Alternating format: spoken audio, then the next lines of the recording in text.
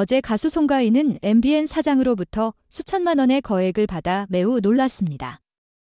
이유를 묻자 MBN 사장은 2024년 상반기에 회사에 막대한 수익을 안겨준 송가인에게 감사의 표시로 선물을 주고 싶다고 설명했습니다. MBN 사장에 따르면 송가인은 현역 가왕 대회부터 인상적인 돌파구를 보여주었습니다. 이어 한일 가왕전 대회에 참가해 많은 뛰어난 성과를 거두었고 특히 일본 데뷔 무대는 큰 화제를 모아 MBN의 수익 증대에 큰 기여를 했습니다. 송가인은 대회뿐만 아니라 커버곡 리메이크 발매, 유튜브 조회수, 광고 출연 및 신곡 발매를 통해 MBN에 막대한 수익을 안겨주었습니다. 그녀의 끊임없는 노력과 출중한 재능 덕분에 MBN은 많은 성공을 거두었습니다. MBN 사장은 송가인을 돈을 벌어들이는 행운의 부적지라고 불렀습니다. 그는 이번 거액의 송금이 단순한 감사의 선물이 아니라 송가인의 중요한 공로를 인정하고 기리기 위한 것이라고 밝혔습니다.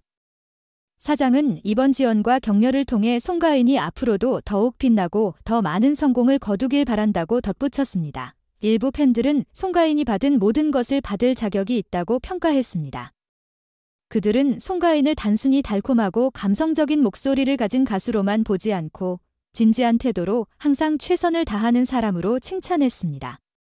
송가인이 이룬 성공은 그녀의 헌신과 재능을 분명하게 증명해 줍니다. 반면에 다른 사람들은 MBN 사장의 관점에서 이번 일을 바라보았습니다. 그들은 사장이 회사의 발전에 기여한 사람들을 적절히 평가하고 감사할 줄 아는 리더라고 생각했습니다.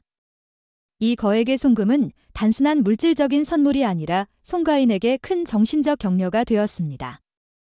이는 MBN이 단순히 수익에만 신경 쓰지 않고 각 개인의 노력을 존중하고 감사하는 근무 환경을 조성하는 데 중점을 두고 있음을 보여줍니다.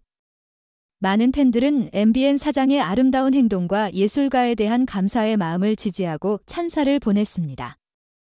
최신 뉴스를 받으시려면 저희 채널을 팔로우해주세요.